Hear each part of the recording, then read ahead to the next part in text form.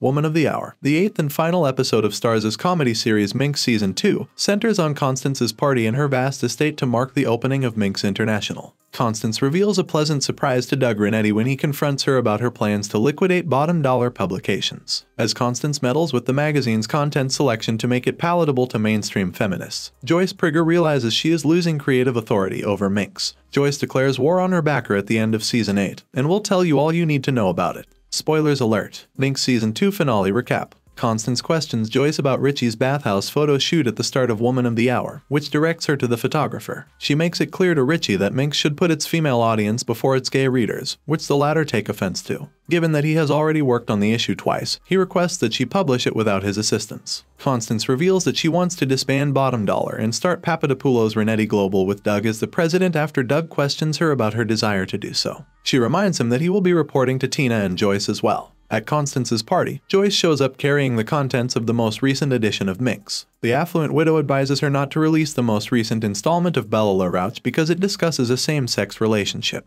Constance informs Joyce that lesbians and their perspectives are not welcome in her mainstream feminism because she fears that they would be attacked in the name of the movement. When Joyce declares that she wants her magazine to represent all women, her funder prompts her to consider the value of making concessions. Lenny and Shelley make the decision to split up while the former is getting ready to go to Italy to be with Doreen. Doug is engulfed in joy as he gets ready for the big party. He shares the news with Tina first because he is enjoying his new position as the new company's president.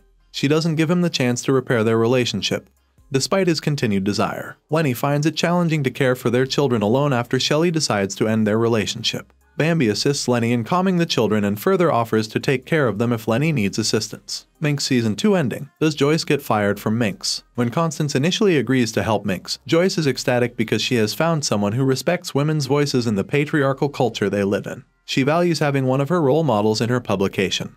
But she gradually comes to the conclusion that Constance's views on feminism are different from her own. Constance wants the same magazine to be a platform for the elitists among them while Joyce wants it to be inclusive and a representation of the world she lives in. Joyce feels it's time to take back control of her creative process after Constance rejects the newest chapter of Shelley's sexy novel. Joyce decides how to publish the most recent issue of Minx, defying Constance's orders and upholding her principles. She halts the publication of the magazine's seriously compromised issue and spontaneously produces a new one utilizing Richie's account of police brutality. Joyce understands she can't dismiss Richie or Shelley's work since they are more significant, and relevant than pandering to mainstream feminists. Knowing that Constance will not put up with the same, Joyce activates her rebellious side. Joyce doesn't want to continue working for the affluent widow, even if she doesn't dismiss her apprentice. Joyce chooses to leave Minx and Constance's new business as a protest, even if the latter doesn't fire the latter, in order to reveal the lack of depth of the new publisher in the game.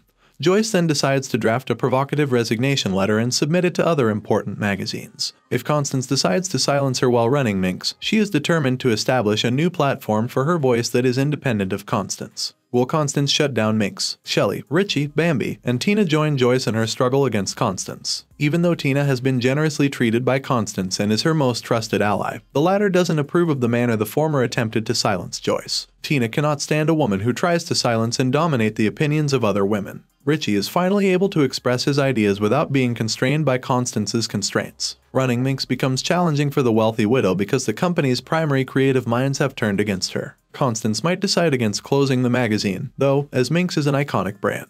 Constance's entire strategy to launch a new business and Minx International depends on Joyce's success in making Minx a household name. She will have to start from scratch to create a new women's magazine if she loses the Minx brand.